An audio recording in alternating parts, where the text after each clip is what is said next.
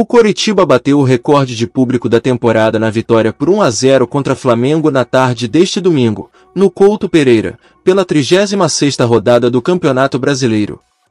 O triunfo foi presenciado por 32.021 torcedores, com renda de 862.850 reais.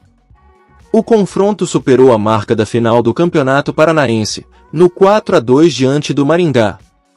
O público da conquista do título foi de 27.655 pagantes para uma renda de 1.031.045 reais.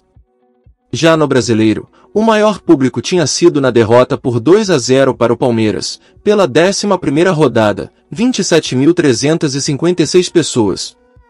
A média no Brasileirão é de 19.453 pagantes por partida, enquanto do ano é de 17.753. Para a partida diante do Fla, a diretoria Coxa Branca fez promoção. Os sócios, que passam dos 40 mil, foram liberados a levar um acompanhante. O máximo permitido foi de 5 mil. Com a vitória, o Coxa ocupa a 15ª colocação, com 41 pontos.